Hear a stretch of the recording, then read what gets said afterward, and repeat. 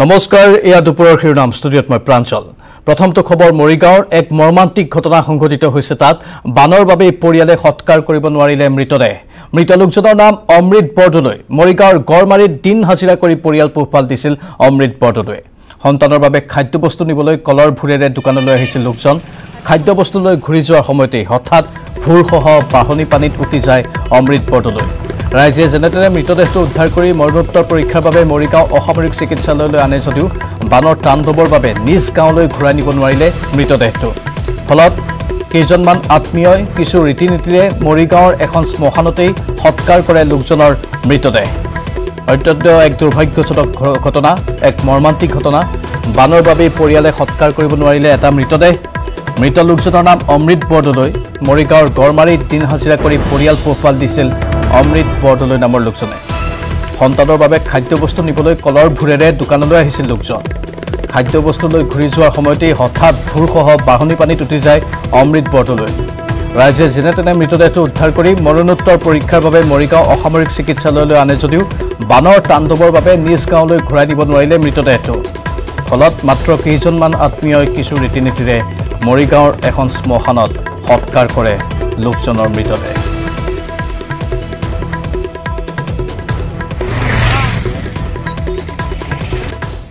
কলহ ভূত গৈছিলে ঘৰলৈ। যাওঁতে মানে ভূৰ পৰা মানে ভৰি চিলিখাই এনে পানীত পৰি গৈছে। এ, বা- তাত বানপানী বানপানী।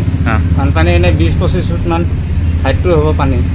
মানুহ ঢুকি নাপায় মানে। ভূৰলৈ কি কামত গৈছিলে? ভূৰলৈ মানে ঘৰলৈ গৈছিলে। দোকানত আহোঁতে। দোকানৰ পৰা ৰিটাৰ্ণ হৈছিলে ঘৰলৈ। কি কি তাত এতিয়া কি অৱস্থা বহুত বেয়া নেকি তাত? হয় বহুত বেয়া। কি নাম আছিল তেওঁ? অমিত বৰদলৈ। আমাৰ যিবোৰ শ্মশানশালী আছে। শ্মশানশালীবোৰ মানে পূৰা পানী হৈ গ'ল। পানী হোৱাতে আমি মানে এতিয়া তেওঁলোকক সৎকাৰটো কৰিব নোৱাৰি। মই প্ৰশাসনৰ লগতে যোগাযোগ কৰি আমাৰ চুইপাৰ লগত লগত যোগাযোগ কৰি কৰি ইয়াতে খোৱাৰ ব্যৱস্থা এটা কৰিছোঁ। কেনেকুৱা লাগিছে আজি এনেকুৱা এটা পৰিৱেশ? বহুত বেয়া লাগিছে। আমাৰ ইয়াৰ আগতো মানে এ, জামাৰাইত ডাক্তলাৰ এজনী ছোৱালী ইয়াত আহি দিবলগীয়া হৈছে। তাতো ঠিক ঠিক তেনে অৱস্থা। বানপানী বানপানী।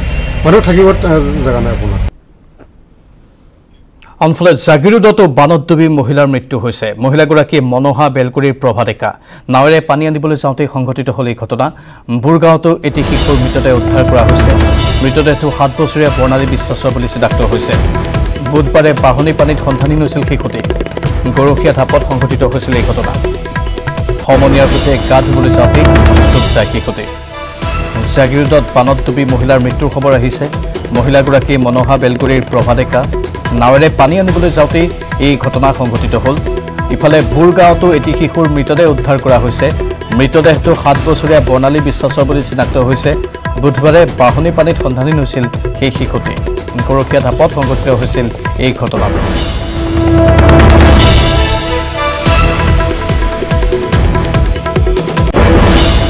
এটা গুৰুত্বপূৰ্ণ খবৰ ম্যানমাৰত আকৌ আলফা স্বাধীনৰ বিৰুদ্ধে অভিযান। বাৰ্মিজ সেনাই আৰম্ভ কৰিছে অভিযান। এন এছ চি এন কেৰ বিৰুদ্ধেও অভিযান বাৰ্মিজ সেনা বাহিনীৰ বুধবাৰে পুৱাৰে পৰা চলিছে এই অভিযান। আলফা স্বাধীনৰ বিৰুদ্ধে আকৌ এবাৰ ম্যানমাৰত অভিযান চলিছে। বাৰ্মিজ সেনাই আৰম্ভ কৰিছে অভিযান। সমান্তৰালভাৱে এন এছ চি এন কেৰ বিৰুদ্ধেও অভিযান চলাইছে বাৰ্মিজ সেনা বাহিনীয়ে বুধবাৰে পুৱাৰে পৰা চলিছে এই অভিযান।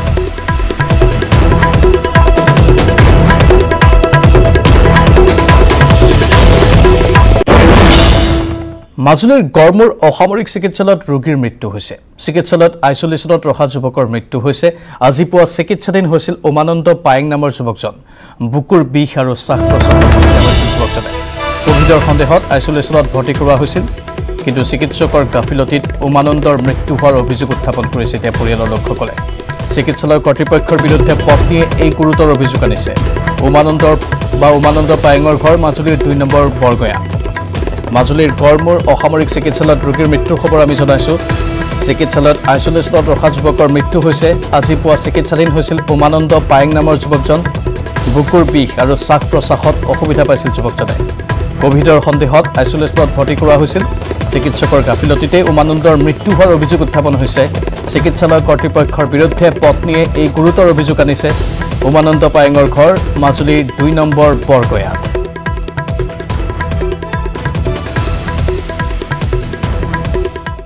আন এক খবৰ মহানগৰীত এতিয়া আৰক্ষীৰ বাহনৰ বাবে তেলৰ নাটনি হৈছে। তিনি চাৰিদিন ধৰি পোৱা নাই পেট্ৰল ডিজেল।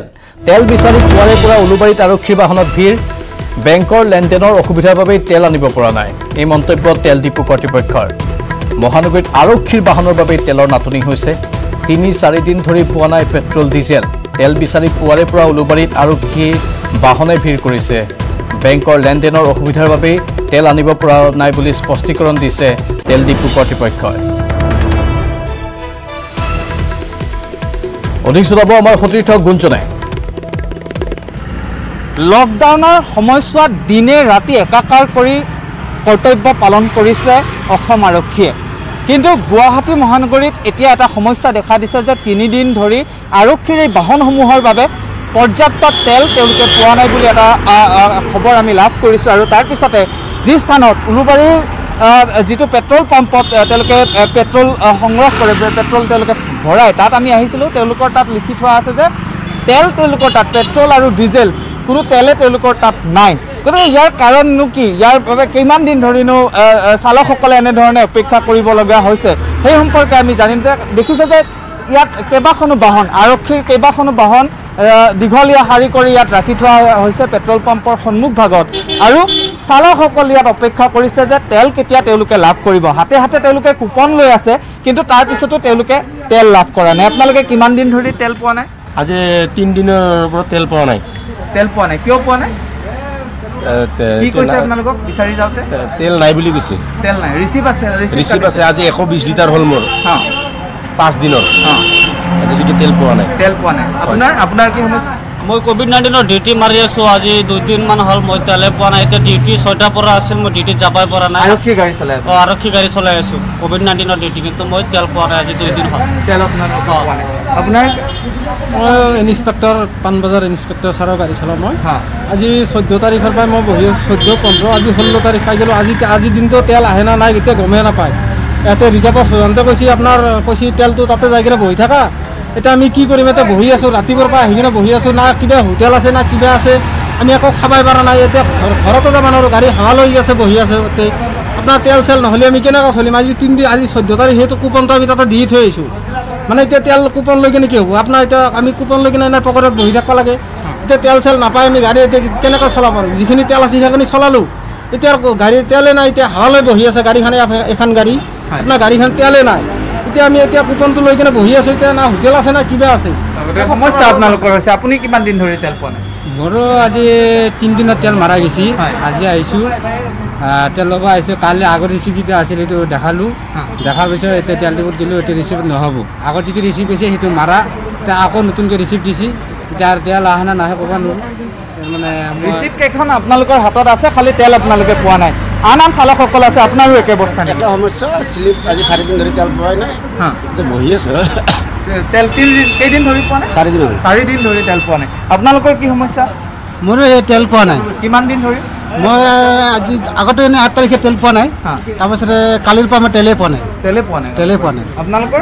চাৰিদিন হয়। চাৰিদিন ধৰি পোৱা নাই। কেইদিন ধৰি তেল? চাৰিদিনে কেইদিন ধৰি তেল চাৰিদিন চাৰিদিন ধৰি। গতিকে দেখিছে যে আৰক্ষীৰ যিসমূহ বাহন আছে ইয়াতে বাহনসমূহ আছে কিন্তু তেওঁলোকে পৰ্যাপ্ত তেল তেওঁলোকে লাভ কৰা নাই বুলি কৈছে। এই সন্দৰ্ভত আমি পেট্ৰল পাম্পৰ কৰ্তৃপক্ষৰ সৈতে কথা পাতিছিলোঁ আৰু তেওঁলোকে জনাইছে যে বেংকৰ লেনদেনৰ ক্ষেত্ৰত কিছু পলম হৈছে। সেয়েহে তেওঁলোকৰ তেল অনাত অসুবিধা হৈছে বুলি মন্তব্য কৰিছে। কিন্তু তাৰ মাজতে যিসমূহ জৰুৰী সেৱাত নিয়োজিত হৈ আছে আৰক্ষী আৰু আৰক্ষীৰ এই চালকসকল তেওঁলোকে ৰাতিপুৱাৰ ভাগৰ পৰা আহ, উলুবাৰীৰ পেট্ৰল পাম্পৰ সন্মুখত তেওঁলোকে অপেক্ষা কৰি আছে যে তেল কেতিয়া তেওঁলোকে লাভ কৰিব। কিন্তু এই মুহূৰ্তলৈকে আজি তিনিদিনৰ পৰা চাৰিদিন ধৰি তেল লাভ কৰা নাই আৰক্ষীৰ বাহনসমূহৰ বাবে।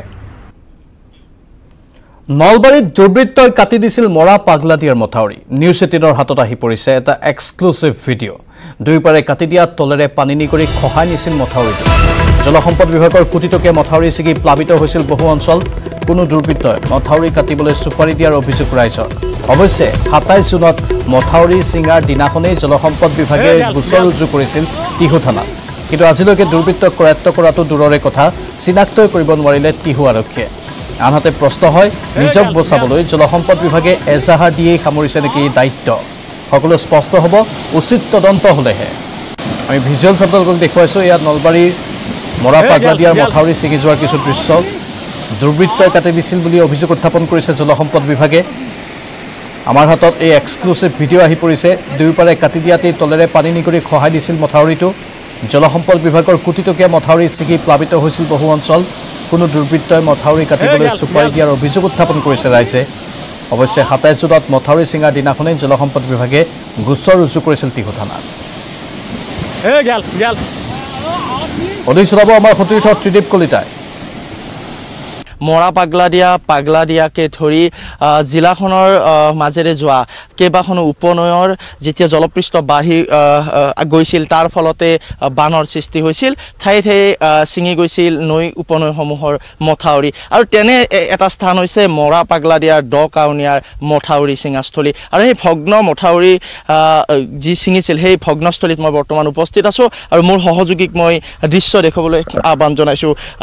যোৱা সাতাইছ জুনত মৰা পাগলা দিয়াৰ এইটো স্থানেৰে মথাউৰিটো ছিঙি গৈছিল আৰু ছিঙি যোৱাৰ ফলতে বৃহত্তৰ টিহু অঞ্চল পশ্চিম নলবাৰী অঞ্চল বানত প্লাৱিত হৈছিল। কিন্তু শেহতীয়াভাৱে নিউজ এইটিন অসম নৰ্থ ইষ্টৰ হাতত এক ভিডিঅ' আহি পৰিছে এক্সক্লুচিভ ভিডিঅ' আহি পৰিছে। আৰু সেই ভিডিঅ'য়ে আচলতে এতিয়া উদঙাইছে। প্ৰকৃততে মথাউৰি ছিঙিছিল নে কোনো দুৰ্বৃত্তই কাটি দিছিল মথাউৰিটো? এইকাৰণে কৈছোঁ। যিটো ভিডিঅ' আৰু সেই ভিডিঅ'টো দেখিলে আপুনি মই সহজে অনুমান কৰিব পাৰোঁ যে প্ৰকৃততে মৰা পাগলা দিয়াৰ দ কাউনীয়াৰ এই মথাউৰিটো ছিঙি যোৱা নাছিল বা বানে ছিঙি নিয়া নাছিল। তাৰ পৰিৱৰ্তে কোনো দুষ্ট চক্ৰই বা কোনো দুৰ্বৃত্তই কাটি দিছিল কিহৰ বাবে? এতিয়া কথাটো হ'ল কোনে কাটি দিছিল আৰু কাৰ কি উদ্দেশ্য আছিল এই মথাউৰি কটাৰ আঁৰত। এতিয়া শেহতীয়াভাৱে এটা প্ৰশ্ন আহি পৰিছে। জিলা জলসম্পদ বিভাগৰ কোনো বৰমূৰীয়াৰ হাত আছে নেকি এই মথাউৰি কাটি দিয়া দুষ্ট চক্ৰটোৰ লগত? নে কোনো দুষ্ট চক্ৰই আহ, নিজৰ স্বাৰ্থ সিদ্ধিৰ বাবে বা উদ্দেশ্য প্ৰণোদিতভাৱে কাটি দিছিল এই মথাউৰিটো? তাক লৈ এই মুহূৰ্তত ডাঙৰ প্ৰশ্ন আহ, পৰিছে। কিন্তু তাৰ লগে লগে এটা কথা ক'ব বিচাৰিছোঁ যে সাতাইছ জুনত যেতিয়া মথাউৰি ছিঙি গৈছিল জলসম্পদ বিভাগে নিৰ্মাণ কৰা এই মথাউৰিটো যেতিয়া ছিঙি গৈছিল তেতিয়াই একাংশ দুৰ্বৃত্তই এই মথাউৰিটো কাটি দিয়া সন্দেহ কৰিছিল জলসম্পদ বিভাগে। আৰু তাৰ পৰিপ্ৰেক্ষিততে নলবাৰী জিলা জলসম্পদ বিভাগৰ ফালৰ পৰা এখন এজাহাৰ দাখিল কৰা হৈছিল টিহু আৰক্ষী থানাত। কিন্তু লক্ষণীয় কথাটো হ'ল যে ইমান দিন পাৰ হৈ যোৱাৰ পিছতো কিন্তু আজিৰ তাৰিখলৈ কিন্তু টিহু আৰক্ষী থানাই কিন্তু কোনো ধৰণৰ দুষ্ট চক্ৰৰ সন্ধান উলিয়াব নোৱাৰিলে বা কৰায়ত্ব কৰা কৰিব নোৱাৰিলে। কৰায়ত্ব কৰাটো দূৰৰে কথা চিনাক্তই কৰিব নোৱাৰিলে কোন কেইজন দুষ্ট দুৰ্বৃত্তই এই মথাউৰিটো কাটি দিছিল বা কিয় কাটি দিছিল। এতিয়া কথাটো হ'ল আহ, যদিও বা আহ, জিলা জলসম্পদ বিভাগে এফ আই আৰ দিছে বা এজাহাৰ দাখিল কৰিছে টিহু থানাত তাৰ মাজতো কিন্তু এক ৰহস্য লুকাই থকা অনুমান কৰিব পাৰি। নিজৰ জিলা জলসম্পদ বিভাগে নিজক ৰক্ষা কৰিবলৈ বা বাচিবলৈ আচলতে এখন এজাহাৰ দিয়ে দায়িত্ব সামৰিছিল নেকি? নে প্ৰকৃততে কোনো দুষ্ট চক্ৰই বা দুৰ্বৃত্তই কাটি দিছিলে মথাউৰিটো যাৰ বাবে ক্ষোভিত হৈ বা উচিত তদন্তৰ বাবে জিলা জলসম্পদ বিভাগে এজাহাৰ দাখিল কৰিছিল টিহু থানাত। যদি সেয়াই হয় তেন্তে আজিৰ তাৰিখলৈকে টিহু থানাই বা টিহু আৰক্ষীয়ে কিহৰ বাবে সেই দুষ্ট চক্ৰ বা সেই দুৰ্বৃত্তক কৰায়ত্ব কৰিব পৰা নাই সেয়াও কিন্তু আজিৰ তাৰিখত ডাঙৰ প্ৰশ্ন হিচাপে থিয় দিছে। পুনৰ স্বাগতম। ৰাজ্যৰ মুখ্যমন্ত্ৰী সৰ্বানন্দ সোণোৱালৰ কাজিৰঙাত বান শিবিৰ পৰিদৰ্শন। কহৰাৰ ৰাইজিং ছান ইংলিছ স্কুলৰ বান শিবিৰত মুখ্যমন্ত্ৰী শিবিৰত বুজ ল'লে বান ক্ষতিগ্ৰস্তৰ অৱস্থা। মুখ্যমন্ত্ৰীয়ে তদাৰক কৰিছে সমগ্ৰ ব্যৱস্থাৰ কেনেধৰণে বানপানীত আক্ৰান্তসকলক ৰখা হৈছে কি ব্যৱস্থা তেওঁলোকৰ বাবে গ্ৰহণ কৰা হৈছে খাদ্য সামগ্ৰী যোগান ধৰা হৈছে নে নাই সকলো ব্যৱস্থাৰ বুজ ল'লে মুখ্যমন্ত্ৰীগৰাকীয়ে। লগতে বানাক্ৰান্তসকলৰ সৈতে কথা বতৰাও পাতিলে। মুখ্যমন্ত্ৰী সৰ্বানন্দ সোণোৱাল ইয়াক কাজিৰঙাত বান শিবিৰ পৰিদৰ্শনৰ মুহূৰ্তৰ কিছু দৃশ্য দেখুৱাইছোঁ। কহৰাৰ ৰাইজিং ছান ইংলিছ স্কুলৰ বান শিবিৰত মুখ্যমন্ত্ৰীগৰাকী উপস্থিত হ'ল। শিবিৰত তেওঁ বুজ ল'লে বান ক্ষতিগ্ৰস্তৰ মনৰ অৱস্থা।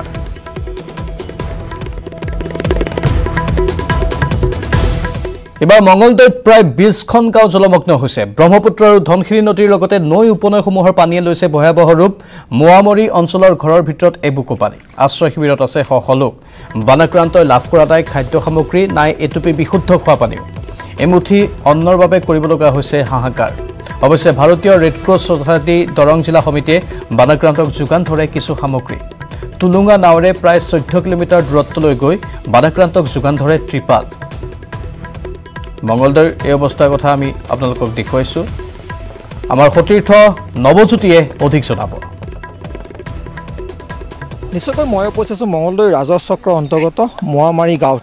আৰু এই গাঁওখনেও বানত প্লাৱিত হৈছে আৰু বিস্তৰ ক্ষতিসাধন হৈছে বুলি ক'ব লাগিব। আৰু দেখুৱাইছোঁ এটা আশ্ৰয় শিবিৰ যিটো আশ্ৰয় শিবিৰৰ লগত দেখিবলৈ পোৱা গৈছে। পশুধনৰ লগত সহবাস কৰিব লগা হৈছে গাঁৱৰ ৰাইজে। নিশ্চয় দেখুৱাব আছে ৰমেশে এই কি ধৰণে পশুধনৰ লগত সহবাস কৰিব লগা হৈছে। এয়া স্থানীয় মহিলাসকল আছে তেওঁলোকৰ কথা যত্ন কৰিম। আপোনালোকৰ ইয়াতে কেতিয়াৰ পৰা পানী এই ধৰণে বাঢ়িছে? আজি চাৰি পাঁচ দিনে হ'ল এনেকুৱা পানী বাঢ়িছে। পানী বাঢ়াৰ কাৰণে ধৰ এতিয়া আমি শিবিৰত আছোঁ গৰু ছাগলী ঘাঁহ বন একো নাইকিয়া হৈছে। অথচ মানুহৰো ধৰ একো খাৱা লোৱা ধৰ অলপ অসুবিধা হৈছে চৰকাৰৰ পৰা কোনো সা সুবিধা দিয়া নাই। আমাৰ এতিয়া ধৰ নচলা উপায় হৈছে এতিয়া। গৰু অহা নাই? খবৰ লোৱাৰ কাৰণে চৰকাৰী কোনো আহিব। কোনো অহা নাই? কোনো অহা নাই প্ৰশাসনৰ লোক অহা নাই। নাই। কি ধৰণে খাব খোৱা লোৱা কেনেকৈ কৰিছে? এতিয়া আমি খাব খাব লাগিছিলে আমি ধৰ দুই তিনিবাৰ এতিয়া দুইবাৰ বা এবাৰ খাই আছোঁ যেনিবা। গৰু ছাগলী এনেকৈ পাত ঘাঁহ চাহ এনেকুৱা দিকে ৰাখি আছোঁ। গৰু ছাগলীৰ যি খাদ্য এতিয়া গৰু ছাগলী আমাৰ খাদ্য খেৰে হৈছে। ছাগলীৰ কাৰণে পাত নাই? দিয়া একো দিয়া নাই। বা গুদা কিবা ইয়াতে পৰিয়াল আমি ধৰ বাৱন্ন ঘৰ গিৰি আছোঁ। নিশ্চয়- নিশ্চয়কৈ আমি কৈছোঁ যিহেতু বানৰ কবলত থকা গাঁওসমূহ কিন্তু এতিয়ালৈকে কোনো প্ৰশাসনৰ লোক খবৰ ল'বলৈ অহা নাই। আৰু তেনে সময়ত আমি দেখুৱাব বিচাৰিছোঁ যে ৰেড ক্ৰছৰ ফালৰ পৰা কিছু ত্ৰিপাল তেওঁলোকক প্ৰদান কৰা হৈছে আমি দেখুৱাইছোঁ। আমি কথা পাতিম ৰেড ক্ৰছৰ লোকসকল আছে। যিহেতু কিছু ত্ৰিপাল দিয়া হৈছে। আমি জানিব পাৰিলোঁ এতিয়ালৈ যে চৰকাৰী প্ৰশাসনৰ ফালৰ পৰা কিন্তু কোনো লোক এতিয়া উপস্থিত হোৱা নাই। কিছু ত্ৰিপাল আপোনালোকে প্ৰদান কৰিছে। কিমান লোকক প্ৰদান কৰিছে? কি ধৰণে? আমি ভাৰতীয় ৰেড ক্ৰছ ছ'চাইটি দৰং জিলা শাখাৰ তৰফৰ পৰা যি যিটো বানপানী প্ৰবল বানপানী আমি ইয়াৰ আগতো বানপানী বহু বছৰৰ পৰা ফেচ কৰিছোঁ যদিও এইবাৰৰ বানপানীটো সঁচা অৰ্থত বহুত বেছি পৰিমাণে আহিছে। আৰু সেইকাৰণে আমি ভাৰতীয় ক্ৰছ ছ'চাইটিৰ তৰফৰ পৰা পৰ্যায়ক্ৰমে আজি তিনিদিন ধৰি আমি এই জেগাই জেগাই ঠাই ঠাই বিশেষকৈ আমি মানুহক চেল্টাৰৰ ব্যৱস্থা কৰিছোঁ। অৰ্থাৎ টাৰ্পলিনটো দিব দিব চেষ্টা কৰিছোঁ যাতে তেওঁলোকে মানুহ আশ্ৰয় ল'ব পাৰে। যিহেতু তেওঁলোকে ঘৰত থাকিব পৰা নাই পশু ধন ঘৰত ৰাখিব পৰা নাই। গতিকে আমি টাৰ্পলিনটো ডিষ্ট্ৰিবিউশ্যন কৰিছোঁ বিতৰণ কৰি আছোঁ। টাৰ্পলিনটো আহি তেওঁলোকে যাতে ঘৰৰ সা সম্পত্তি বা ৰাতিৰ আশ্ৰয় ল'ব পাৰে বা পশুধনখিনি ৰাখিব পাৰে তাৰ কাৰণে আমি আজি মহামাৰী চিৰসেজি জেগাত আহিছোঁ প্ৰায় আমি এশখন এশজন মানুহক আমি টাৰ্পলিন ডিষ্ট্ৰিবিউশ্যন কৰিম আৰু অহাকালিও থাকিব এনেকৈ আমাৰ পৰ্যায়ক্ৰমে আমাৰ চলি গৈ থাকিব। প্ৰথমতে দেখুৱাইছোঁ দৃশ্য ঘৰৰ ভিতৰৰ দৃশ্য যিটো আশ্ৰয় শিবিৰৰ দৃশ্য এই আশ্ৰয় শিবিৰত কিন্তু এই ধৰণে কোনো ধৰণৰ যি অতি কষ্ট তেওঁলোকে জীৱন যাপন কৰি আছে। এতিয়া যে খোৱাৰ খাদ্য বা এই ক্ষে- এই ক্ষেত্ৰত খাদ্যত একো নাই বৰ্তমান নাই। পানী পানী গৰু ছাগলী এইবিলাক সম্পূৰ্ণ পানীও পানী যোগান ধৰা পানীটো নিশ্চিতভাৱে আমি উল্লেখ কৰিব লাগিব যে জিলাখনৰ যিসমূহ গাঁও বানত ক্ষতিগ্ৰস্ত হৈছে সেইসমূহ গাঁৱত কিন্তু দেখিবলৈ পোৱা গৈছে যে যি যি ধৰণে খাদ্যৰ প্ৰয়োজন যি খাদ্য দিব লাগে এই খাদ্য কিন্তু যোগান ধৰা নাই আৰু ৰেড ক্ৰছৰ ফালৰ পৰা কিছু খাদ্য কিছু সামগ্ৰী প্ৰদান কৰিছে ৰেড ক্ৰছ ছ'চাইটিৰ ফালৰ পৰা আৰু জিলাখনৰ প্ৰতিটো বানাক্ৰান্তক খবৰ লৈছে ৰেড ক্ৰছৰ ফালৰ পৰা আৰু এই মোৱামাৰী অঞ্চলতো আহি তেওঁলোকে প্ৰায় এশতকৈ অধিক পৰিয়ালক এই যি ত্ৰিপাল প্ৰদান কৰিছে। আৰু চৰকাৰীভাৱে বা যি ধৰণে প্ৰয়োজনীয়ভাৱে প্ৰয়োজনীয় যি সামগ্ৰী চাউল বা যি আহ, পশুখাদ্য এইসমূহ খাদ্য কিন্তু যোগান ধৰা নাই যাৰ কাৰণে বিশেষ অসুবিধাৰ সন্মুখীন হৈছে গাঁৱৰ ৰাইজ। ডিফু মেডিকেল কলেজ হস্পিটেলত কৰোণাৰ সংক্ৰমণ ঘটিছে। ডি এম চি এইচ আৰু এগৰাকী চিকিৎসক কৰোণাত আক্ৰান্তৰ খবৰ আহিছে। ডি এম চি এইচৰ আন চাৰিগৰাকী স্বাস্থ্যকৰ্মীৰ দেহতো ধৰা পৰিছে কভিড পজিটিভ। কৰোণা আক্ৰান্ত চিকিৎসকগৰাকীৰ নাম ডাক্তৰ হাবি তেৰণ স্বাস্থ্যকৰ্মী চাৰিজন ক্ৰমে বুলেন ভৰালী প্ৰদীপ কুমাৰ সিং লিচা ৰং পি পি আৰু ইন্দ্ৰলীল পাটৰ। দুদিন পূৰ্বে ডাক্তৰ লংচৰ কাঠাৰৰ দেহত ধৰা পৰিছিল COVID nineteen. Diphu medical college হস্পিটেলত কৰোণাৰ সংক্ৰমণ ঘটিছে। ডি এম চি এইচৰ আৰু এগৰাকী চিকিৎসক কৰোণাত আক্ৰান্ত হৈছে। ডি এম চি এইচৰ আন চাৰিগৰাকী স্বাস্থ্যকৰ্মীৰ দেহতো ধৰা পৰিছে কভিড পজিটিভ। কৰোণা আক্ৰান্ত চিকিৎসকগৰাকীৰ নাম ডাক্তৰ হাবি তেৰণ স্বাস্থ্যকৰ্মী চাৰিজন বুলেন ভৰালী প্ৰদীপ কুমাৰ সিং লিচা ৰং পি পি আৰু ইন্দ্ৰলীল পাটৰ। উল্লেখযোগ্য যে দুদিন পূৰ্বে ডাক্তৰ লংচৰ কাঠাৰৰ দেহতো ধৰা পৰিছিল কভিড নাইণ্টিন।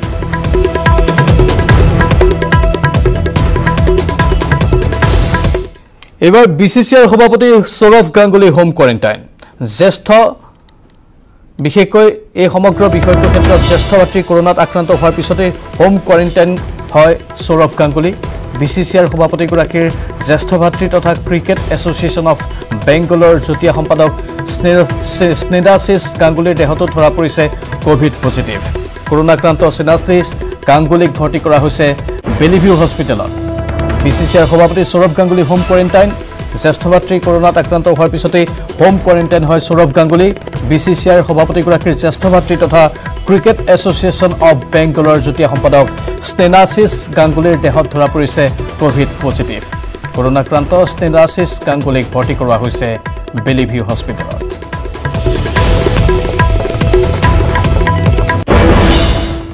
এতিয়াও সংকটমুক্ত নহয় প্ৰবীণ শিল্পী অৰ্চনা মহন্ত। ছজনীয়া চিকিৎসকৰ এটা দলে চলাই আছে চিকিৎসা। চৈধ্য জুলাইত ব্ৰেইন ষ্ট্ৰক হৈছিল বিশিষ্ট শিল্পীগৰাকীৰ অৰ্চনা মহন্তৰ বাৰ্ধক্যৰ বাবেই প্ৰত্যাহ্বান আহিছে চিকিৎসকৰ সন্মুখত। মধুমেহ উচ্চ ৰক্তচাপ পাৰ্কিনছন্স ৰোগতো আক্ৰান্ত শিল্পীগৰাকী। বৰ্তমানেও দুৰ্বল হৈ আছে শৰীৰৰ বাওঁফালৰ অংশ। হেল্থ চিটিৰ চিকিৎসকে এই কথা জানিবলৈ দিছে। ইফালে মুম্বাইৰ পৰা আজি নহ'লে কাইলৈ গুৱাহাটীত উপস্থিত হ'ব পুত্ৰ পাপন।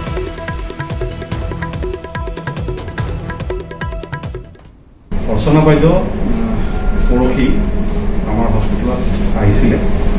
আহোঁতে ঘৰতে এটা ষ্ট্ৰক হৈছিলে এম্বুলেঞ্চৰ সহায়ত তেখেত আমাৰ হস্পিটেলত ভৰ্তি হ'ল। ইনিচিয়েল ট্ৰিটমেণ্টৰ পিছত তেখেতক intensive care unit I C ভৰ্তি কৰা হৈছিল। আমি যেতিয়া লগে লগে চিটি স্কেন কৰি গম পালোঁ তেওঁ এটা ষ্ট্ৰক হৈছে আৰু ষ্ট্ৰকটো হোৱাৰ কাৰণে তেওঁৰ লেফ্ট ছাইডটো উইক আছিলে তেওঁৰ। ৰাইট ছাইডত ষ্ট্ৰক এটা হৈছে। তেওঁৰ বয়স হ'ল ছেভেণ্টি টু ইয়াৰ্ছ বাসত্তৰ বছৰ বয়স আৰু লগত তেওঁৰ ডায়েবেটিছ আছে হাই প্ৰেচাৰ আছে আৰু নিউৰলজিকেল ডিজিজ আগত আছে পাৰ্কিনছন ডিজিজ এটা আছে লাঙৰ কণ্ডিশ্যন এটা আছে ব্ৰংকাইটিছ টাইপ আগৰ পৰা আৰু তেখেতৰ হাৰ্টৰ এৰিথমিয়া বুলি কয় হাৰ্টৰ আঠ বছৰমান আগত এৰিথমিয়া এটা আছিলে হিষ্ট্ৰী মতে সেইখিনি আগৰ পৰা আছিলে যিকোনো ষ্ট্ৰক এটা আউটকামটো ডিপেণ্ড কৰে বাকীখিনি কোমৰবিড কণ্ডিশ্যনখিনিৰ ওপৰত এই কোমৰবিড কণ্ডিশ্যনখিনি প্লাছ তেওঁৰ বয়সৰ বয়সৰ লগত সংগতি ৰাখি পেলাই যিখিনি কমপ্লিকেশ্যনছ হ'ব পাৰে সেই বিষয়ে আমি মানে সচেষ্ট হৈয়ে ট্ৰিটমেণ্ট কৰি আছোঁ যোৰহাটত অনিৰ্দিষ্টকাললৈ লকডাউন বৃদ্ধি কৰা হৈছে। আজি পুৱা সাত বজাৰ পৰা সমগ্ৰ যোৰহাটত লকডাউন আৰম্ভ হ'ল। পাইকাৰী আৰু খুচুৰা গেলামাল দোকান অৱশ্যে খোলাত অনুমতি প্ৰদান কৰা হৈছে। পুৱা সাত বজাৰ পৰা দুপৰীয়া বাৰ বজালৈ খুলিব পাৰিব পাইকাৰী গেলামাল দোকান। দুপৰীয়া বাৰ বজাৰ পৰা সন্ধিয়া ছয় বজালৈ খুচুৰা গেলামাল দোকান খোলাত অনুমতি প্ৰদান কৰা হৈছে। শাক পাচলি ফল মূলৰ হোম ডেলিভাৰীৰ ব্যৱস্থা লোৱা হৈছে। ঘৰে ঘৰে বিক্ৰী কৰিব পাৰিব মাছ মাংস পানী। পৰৱৰ্তী জাননী জাৰি নকৰালৈকে যোৰহাটত সম্পূৰ্ণ লকডাউন বলবৎ থাকিব।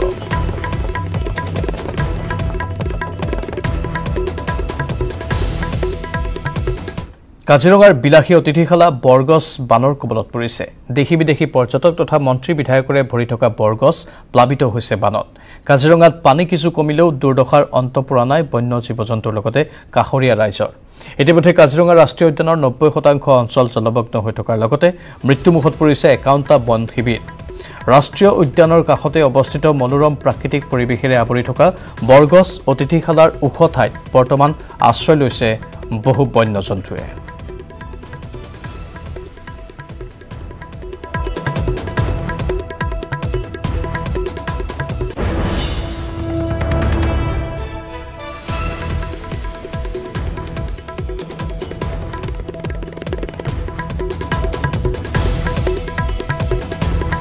অধিক জনাব আমাৰ সতীৰ্থ বিতুপনে কাজিৰঙা ৰাষ্ট্ৰীয় উদ্যানৰ একমাত্ৰ বিলাসী হোটেল কাজিৰঙা ৰাষ্ট্ৰীয় উদ্যানৰ দাঁতিকাষৰীয়া অঞ্চলত থকা একমাত্ৰ বিলাসী হোটেল বৰগছ ৰিজৰ্টত। মই সামগ্ৰিক পৰিৱেশ দেখুৱাম। এইখনে হৈছে সেই বৰগছ হোটেল য'ত বিভিন্ন V I P V V I P আহি ইয়াত বাহৰ পাতেহি। বিভিন্ন সময় ইয়াত থাকি থাকি যায়হি। বিভিন্ন বলিউড হলিউডৰ নায়ক নায়িকা আহি ইয়াত থাকি যায়হি। সেই বৰগছ ৰিজৰ্ট আজি হোটেল আজি পানীৰ তলত বানৰ কবলত সমগ্ৰ অঞ্চল দেখুৱাইছোঁ। সমগ্ৰ অঞ্চল বৰ্তমান পানী আৰু পানী পানী হৈ আছে। যি বৰগছ ৰিজৰ্টৰ মই বৰ্তমান পাৰ্কিঙত উপস্থিত আছোঁ। পাৰ্কিঙৰ সমগ্ৰ দৃশ্য দেখুৱাইছোঁ যে একাঠলৈকে পানী হৈছে এই পাৰ্কিঙত আৰু যোৱা বাইছ মাৰ্চৰ পৰা এই বৰগছ ৰিজৰ্ট পৰ্যটকৰ কাৰণে বন্ধ হৈ আছে।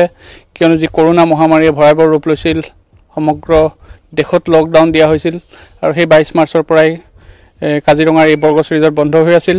ইয়াত বিভিন্নজন স্থানীয় প্ৰায় দুই শতাধিক যুৱক যুৱতী যুৱতী এই অতিথিশালাটোত কৰ্মৰত হৈ আছিল। তেওঁলোকে বৰ্তমান তেওঁলোক সকলো ঘৰলৈ যাবলৈ বাধ্য হ'ল। তথাপিও দুই তিনিজন চাৰিজন যি কৰ্মচাৰী আছে হোটেলখনৰ ধন্যবাদ বিতুপন আৰু এইখিনি মুহূৰ্তৰ এটা ব্ৰেকিং নিউজ আমি জনাব বিচাৰিছোঁ। কৰোণাত আক্ৰান্ত হৈ এগৰাকী নাৰ্ছৰ মৃত্যু হৈছে। ডিব্ৰুগড়ৰ এ এম চি এইচত মৃত্যু হৈছে নাৰ্ছগৰাকীৰ। এ এম চি এইচত চিকিৎসাধীন হৈ আছিল ছিষ্টাৰ মাইকেল চেৰাও ডিব্ৰুগড়ৰ ভি ডি হস্পিটেলৰ জ্যেষ্ঠ নাৰ্ছ আছিল মাইকেল নাৰ্ছিং ইনষ্টিটিউটত শিক্ষকতাও কৰিছিল নাৰ্ছগৰাকীয়ে। হস্পিটেলখনত কৰ্মৰত ষোল্লগৰাকী নাৰ্ছ কৰোণাত আক্ৰান্ত হৈছে। আৰু এইবাৰ কৰোণাত আক্ৰান্ত হৈ এগৰাকী নাৰ্ছৰ মৃত্যু হৈছে। ডিব্ৰুগড়ৰ এ এম চি এইচত মৃত্যু হৈছে নাৰ্ছগৰাকীৰ। দুৰ্ভাগ্যজনক খবৰ আমি জনাইছোঁ। এ এম চি এইচত চিকিৎসাধীন হৈ আছিল চিষ্টাৰ মাইকেল চেৰাও। ডিব্ৰুগড়ৰ ভি ডি হস্পিটেলৰ জ্যেষ্ঠ নাৰ্ছ আছিল মাইকেল। নাৰ্ছিং ইনষ্টিটিউটত শিক্ষকতাও কৰিছিল নাৰ্ছগৰাকীয়ে হস্পিটেলখনত কৰ্মৰত ষোল্লগৰাকী নাৰ্ছ কৰোণাত আক্ৰান্ত হৈছে আৰু চিষ্টাৰ ভি ডি ইতিমধ্যে মৃত্যুমুখত পৰিছে। ইয়াৰ লগে লগে এতিয়া বাতৰিৰ পৰা বিদায় লৈছোঁ। নমস্কাৰ। you.